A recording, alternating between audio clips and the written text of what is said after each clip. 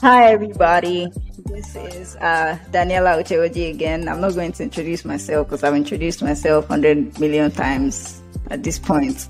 But this is episode four of the Alternative Society NFT podcast. And today we have Didi. So, Didi is in the music business and she's going to talk to us about her experiences in the music industry, um, how because that's also a different field too and a lot of people don't know that music business is a little bit different than normal business so hello didi what's going on what's going on Thank you for having me. You're, You're doing a lot these days. Uh-huh. You're aware of yourself now, aren't you? Uh, it's, it's funny that I have to act like I don't know you just to make this uh, cool, but Yes. So, uh, so I want to talk to you about your career in the music business. Can you tell us or walk us through how you got into the music business? Start from the from the first parts.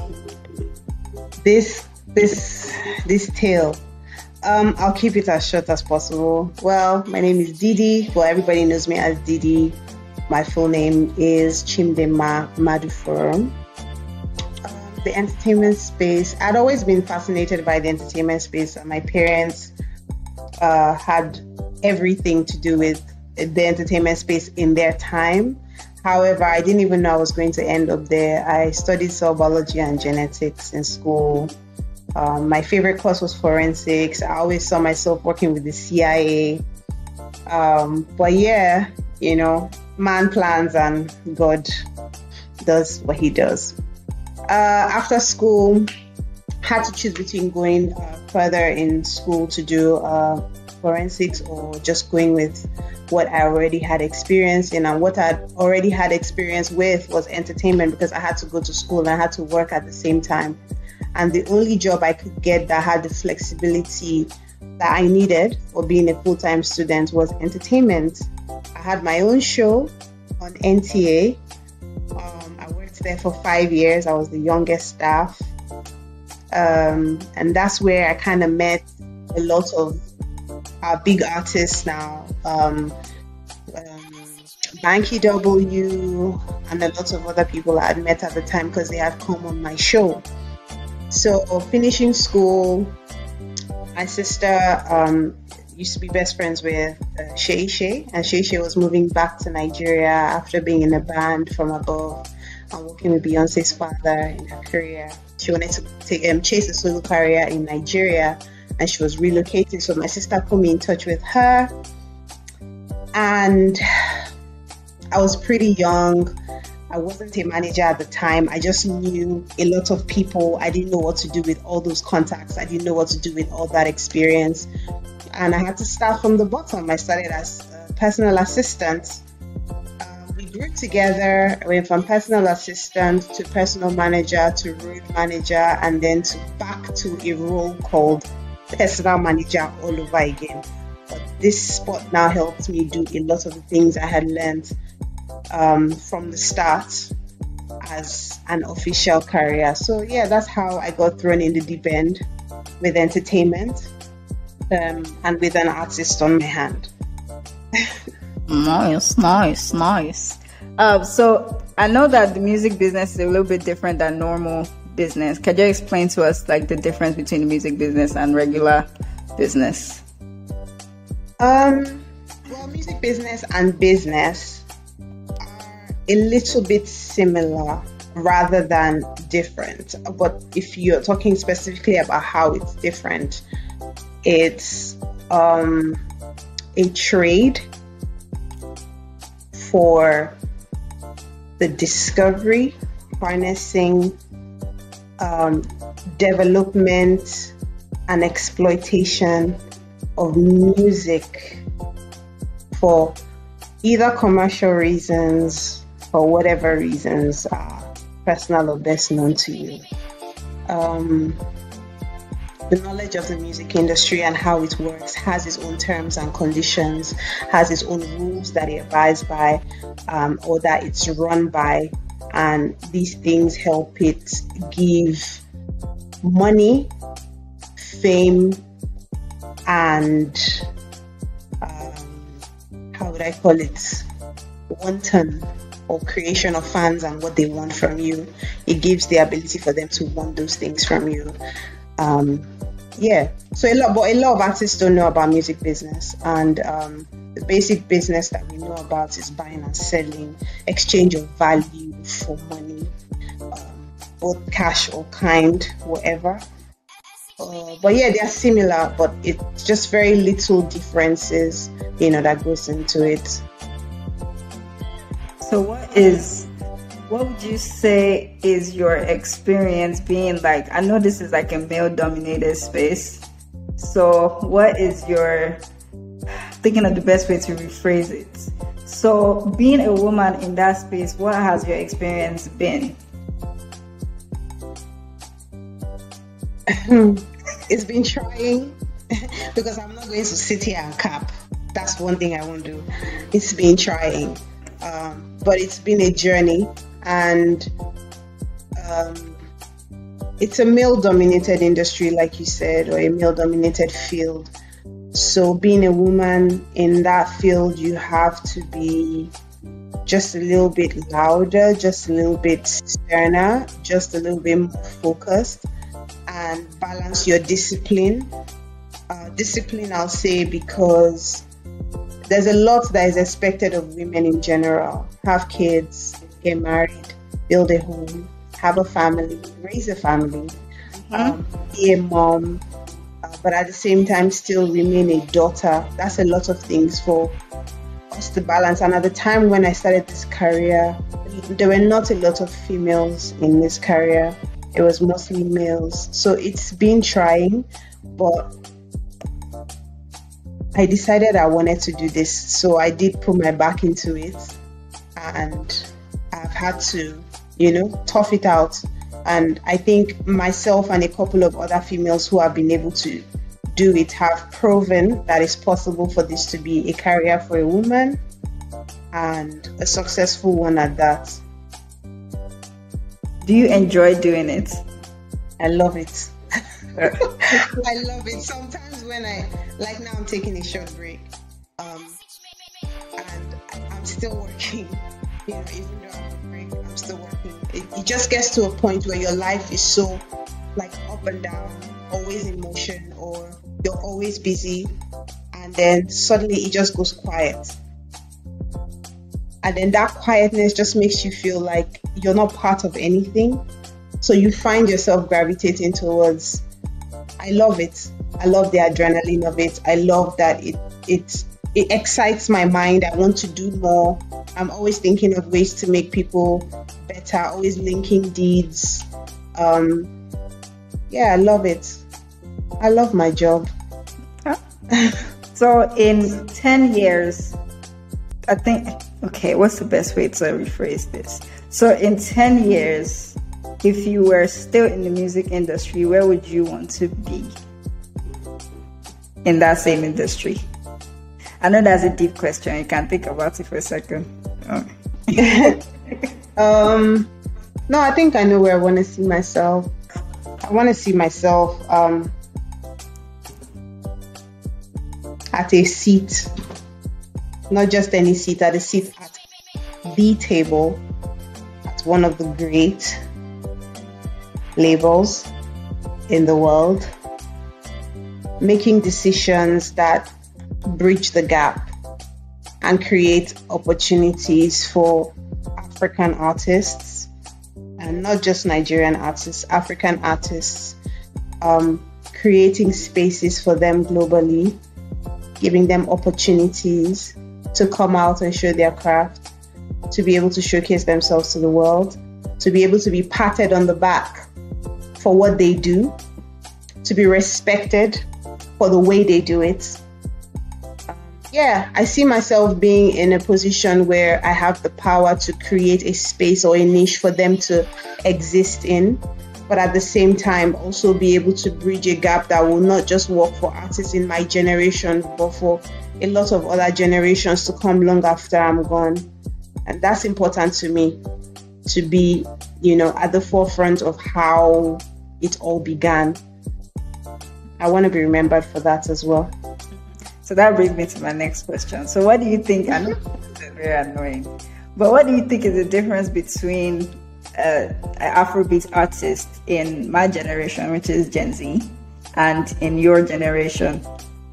What is the difference between the artists? Big difference. Or Afrobeat artists? Yes. Um,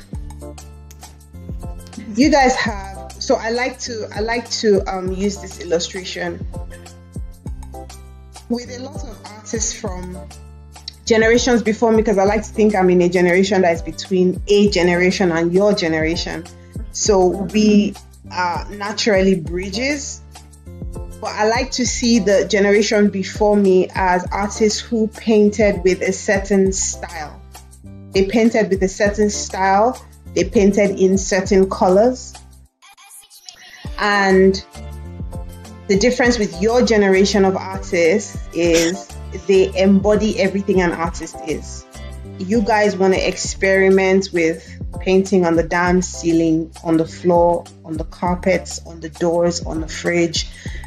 Everywhere is your canvas, and you guys want to play with colors and you guys want to mix colors.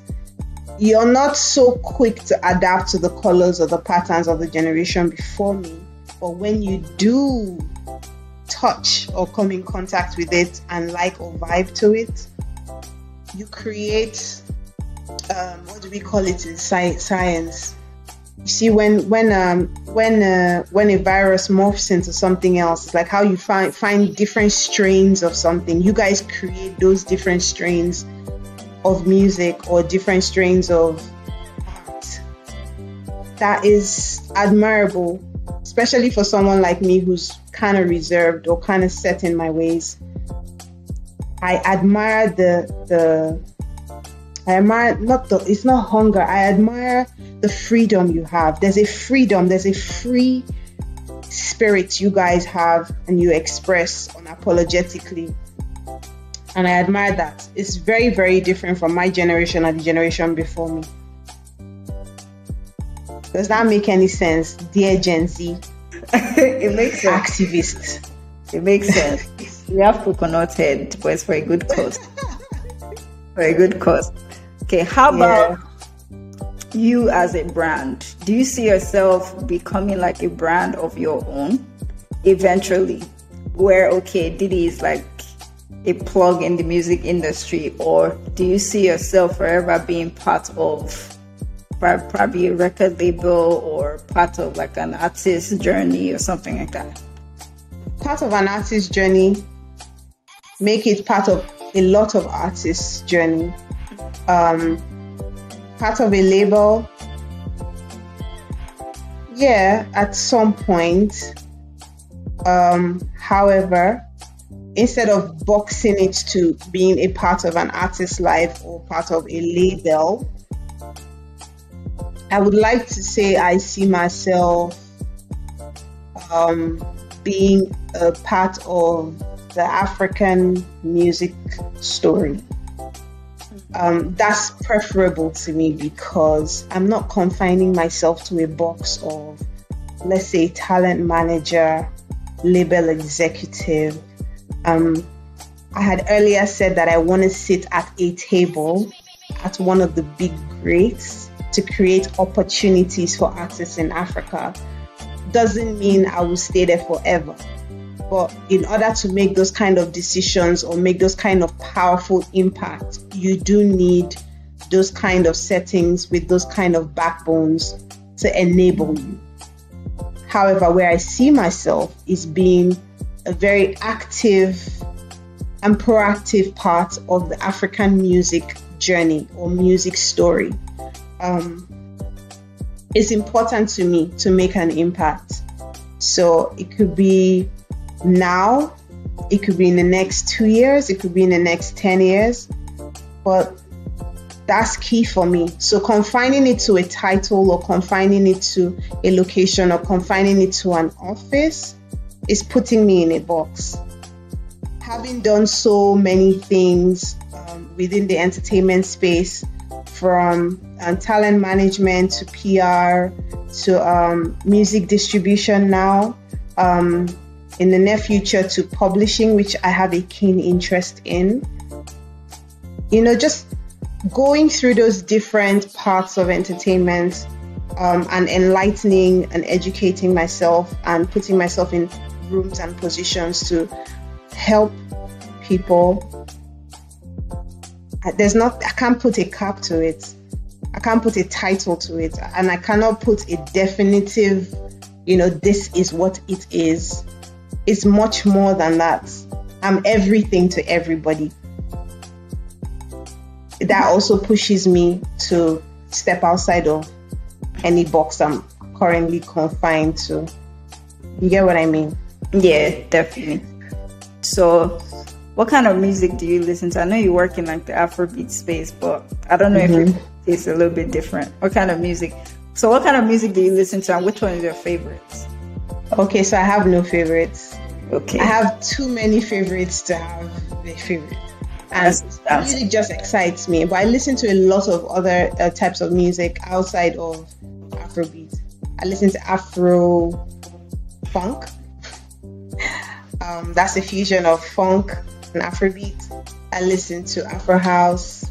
I listen to house, house. I listen to uh, oh hip hop. Jeez, how can I leave that behind? I listen to hip hop. Um, I listen to a bongo music that's from East Africa. I listen to um, uh, I listen to all kinds of music because you never know. Music is a spirit, so you never know um, what what intrigues you until you open your ears, your heart, and your mind to a sound. So I listen to all kinds of music. If it's music and I come across it, if it's very good, I will listen to it. Yeah. So and funny thing is, I work in the Afrobeat space, so at work I listen to a lot of Afrobeat or come in contact with a lot of Afrobeat. But when I step away from work, I take a big a break from Afrobeat and I listen to other types of music. I like rap. I do love rap, very much so. okay. okay. So if you were so if you had the opportunity to work in another industry that wasn't the African music industry, would you would you take that opportunity or do you feel like working in the African or helping to get the African music industry to where you want it to be is like a life purpose that you have? Um yeah. You could say it's a life purpose, but see, defining those kind of things, it makes me a little bit queasy because it confines, mm-hmm. it confines me. Um, but there's space for anything you believe in wherever you're taken to. I don't know if that makes any sense. So wherever it is that life throws me, there will always be a space for African music there. Always. I don't I can't think of where I could possibly be where African music cannot be introduced to or cannot exist in. Um, so yeah, you can call it a life purpose. Music is my life, and I'm I'm African before I'm anyone else. So even if tomorrow I get a different citizenship, I'm African first. I'm Nigerian first. You get what I mean? So yeah, I'm African first before I'm anything else. So it's a life purpose. Wherever I go to, I'm not gonna say no to where I'm led. Um, however, there will always be space for African music there. It's just a matter of time. Mm-hmm. So, is there anything that you have noticed since you started working in that industry that you'd like to or you want to change? Um, yeah. Um, well, I, if you say that industry, do you mean like the African music scene or just music in general? Um, I think we answer both, but do the do um, Afrobeats or the African music industry first, since that's like where you work currently, and then the music industry overall. Yeah. So um, for the African scene, um, hmm, what I'd change? I'd change a lot. Um, the structure of music, education of artists, because a lot of the people who are musically or interested in being musically educated are usually artist teams, so managers, um, and everybody else around the artist except the artist. So it's important that I feel no, I feel that what I would change would be the education of artists. It's important to know what they do as a career. You choose to sing, there's a lot that um, encompasses what you're doing as a career that you should be aware of. It goes way beyond being um, endorsed as an ambassador of a brand or earning money from shows or traveling and touring. There's so much more outside of that that you guys don't know. Um, the sales of your music is very important. Metadata, um, um, sync deals, licensing deals, all those things is important that you know everything that concerns your music outside of what you're directly involved in. That's one thing I would like to change. Put a little bit of interest in the artist concerning um, things that bring money and those things that also don't bring money. Because a lot of artists are lacking in that aspect. That's for Africa. Um, also, what I'd like to change is the opportunity. There's usually a cluster of people who are given an opportunity.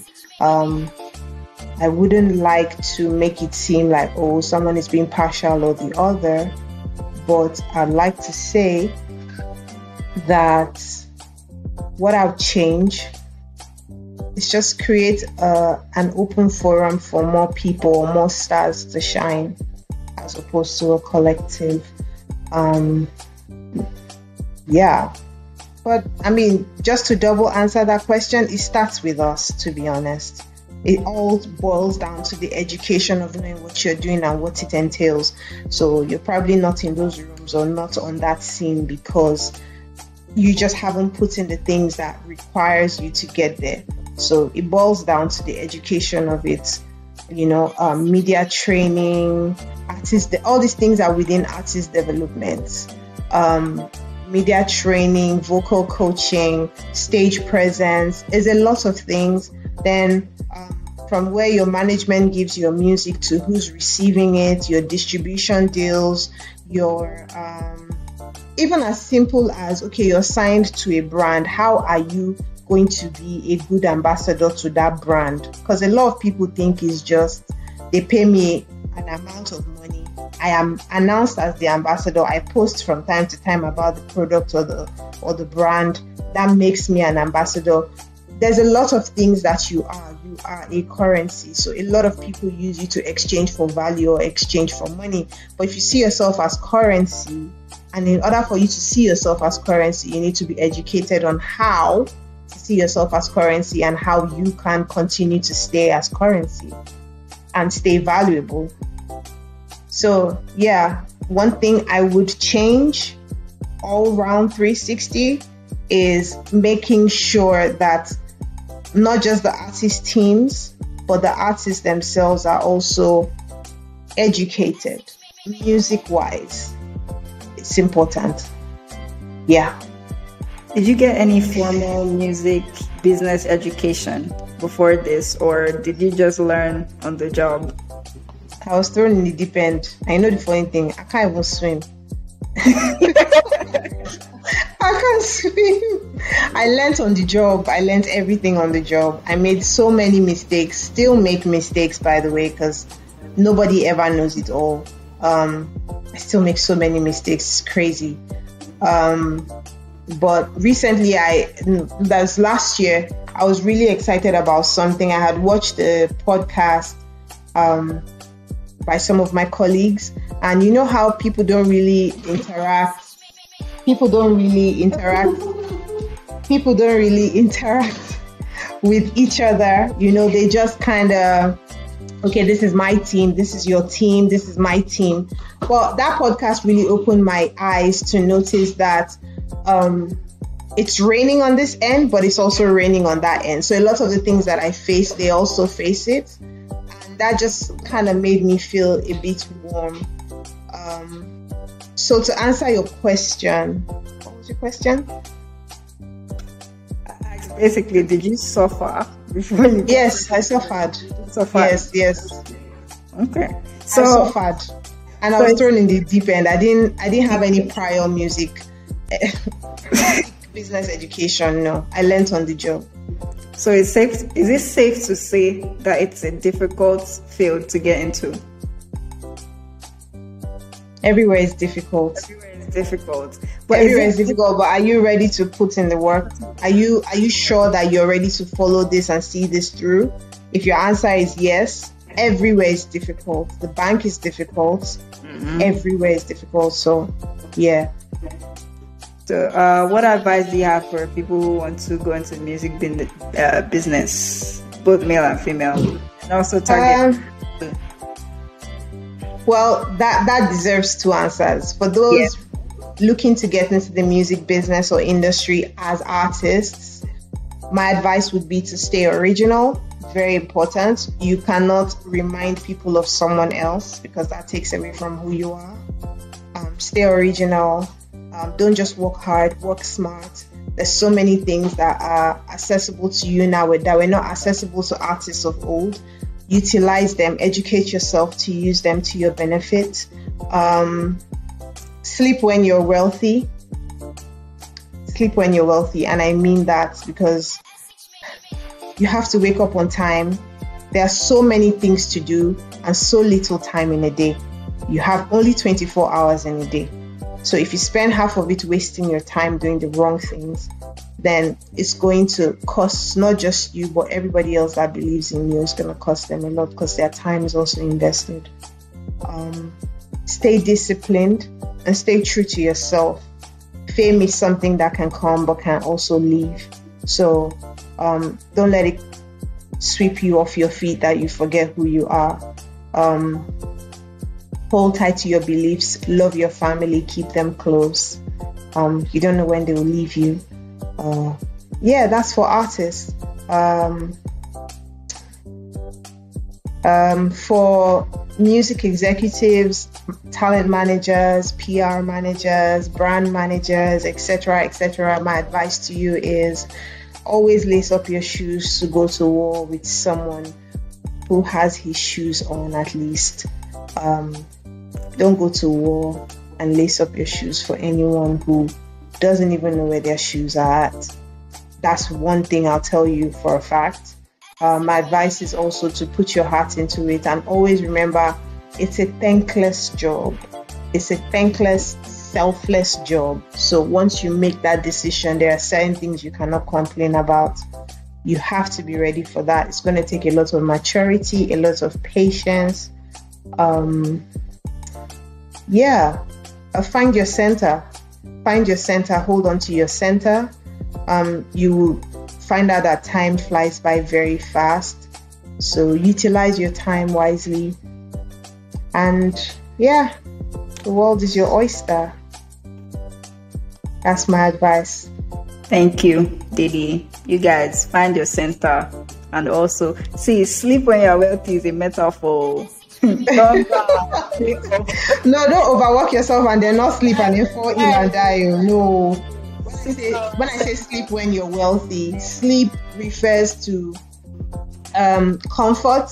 It refers to getting carried away. Mm-hmm. That's what sleep refers to. Sleep doesn't necessarily mean sleep and snore and drool. No sleep means one little taste of fame or one little taste of recognition doesn't mean you're there. Mm-hmm. You know, don't get comfortable. Don't sit back and say, ah, hey, we don't blow. Mm-hmm. Don't blow where they blow, they bust. that makes sense. Yeah. Hey, if you don't get it, forget about it. So, yeah, sleep when you're wealthy. Sleep when you're wealthy but sleep at night and find yourself. Sleep at night, please. please. that sleep at night. Uh, yeah. This was fun. Thank you for having me. It was interesting. Um, so we'll have I another. Have, I have some questions for you, actually. Oh, okay. Let's do. Yeah, I do. What's what's with you, Gen Z people and Alte? So, this is my definition of it because I feel like everybody has a different definition. My definition of it is alternative, and that's being different than the norm. That's what I see it as. I feel like I've always been OT all my life. I've been rebellious to everything that doesn't make sense to me. And when something doesn't make sense to me, it just means that with me, I could be very logical about a lot of things. So when I've tried to calculate it logically, if it's not making any sense, if it's not considering people's feelings, if it's something that people are using to satisfy themselves and not caring about anybody else, to me, I think that it should be eradicated and destroyed. So that's how I'm. You're always, divergent. Yes, say anything you want, any word. and I feel like I feel like the the whole Alte movement was just even though it's a thing that is like it's a music genre and they they're using music and fashion to to I think it it it always existed and there were always people like that. I feel like if you go to every every secondary school now and you go to like art class, you would find that everybody there is Alte. But this is the first time that there is actually an umbrella that these people can hide on. Because for the longest time, you're just looking in a society like Nigeria or even even abroad too. Once you are not fitting into the norm of any society, you become different. People begin to look at you weird. And in Nigeria, it's a little bit different because a lot of the norms are toxic.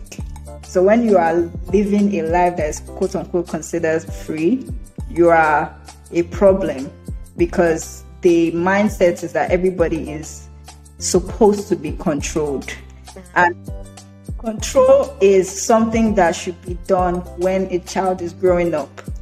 And once you maintain that control in the right way, the child has a mindset where they are thinking about things realistically.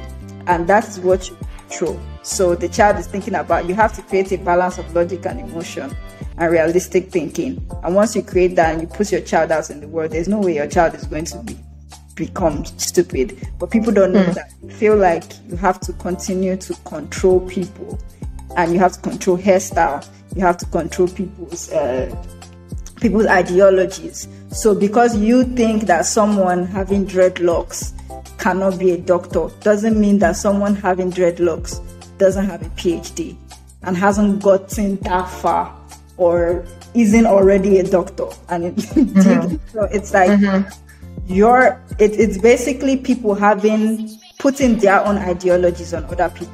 But one mm-hmm. thing life has given us, even God has given us, is choice. To allow people to make, you want to pray on your end that the other person makes the right choice. Mm-hmm. You don't get to control what choice that they make. Mm. Pretty much. That's pretty much what it means. So I feel like okay. I feel like Gen Z has broken out of those toxic norms and they are trying to fix first people's mental because once you fix that everything else follows so you mm-hmm. have to fix the mental and then toxicity goes down and mm-hmm. then after that people could then begin to fix other things so i think that that's that's how I see it. Got you. My second question is um, in terms of Afrobeat, in terms of Afrobeat, Afrobeats, and just music in general, what is um, what is the average Gen Z's take on the music industry? Because you guys might not define it as Afrobeat, Afrobeats, and everything else. But in general, the Afro the African music scene, what is your take? Who is doing what? What do you listen to? And what what what's your ideology on the on the African music industry? Even what can though, be changed? So even though I am considered Gen Z, I'm still an old woman. So I'm going to answer this the way that I see music. So I see music, to me, music is a lot of things apart from something that I listen to when uh, just for entertainment purposes, it's also something that I get inspiration from. It's also mm-hmm. something that I run to when I'm sad and things like that. So sometimes when I want a certain level of encouragement, I go to listen to certain songs to find like that. Um, so to me, at a certain point, I used to think that one of the strongest points that Afrobeat had was just like instrumentals. So it was like there's so much instrumental, but you're just talking rubbish in the middle of the song. You're not really saying the lyrics not really adding up. You're just saying anything. Um, but I think now it has evolved to people actually really now pouring out their hearts. So it passes, even even though they they might be using languages that you don't understand and, and things like that. This is now people actually really speaking their mind to the songs. So you're not just dancing when you don't feel like dancing and you're sitting down to listen to the song, it's actually hitting, and you're just like, wait, I didn't hear that before. But now this makes sense. Um, so I, I know that what this generation of musicians, at least from what I've seen, what they are doing is that they are telling stories that the older, older generations too were telling. Because I, I listen to like this old high life and and I find that a lot of them were also doing similar things that these ones are doing. They were telling similar stories that were important. And they were basically everyday life situations. They had turned it into songs that people could find relatable. And because of that, to me, that was super strong. And it's, it's coming up now again, where people are bringing those real life um, situations into their music and it's also becoming relatable as well. Um, yeah, to me, that's kind of how I see it. Um, at a certain point, I know when I was in secondary school, I used to be like, you, like, is it that we're just dancing and nobody's saying anything smart? like, come on, say something smart. So that we are knowing that, okay, if we're listening to your song, it can also be a poem or it can be something that somebody could, could, could be attached to.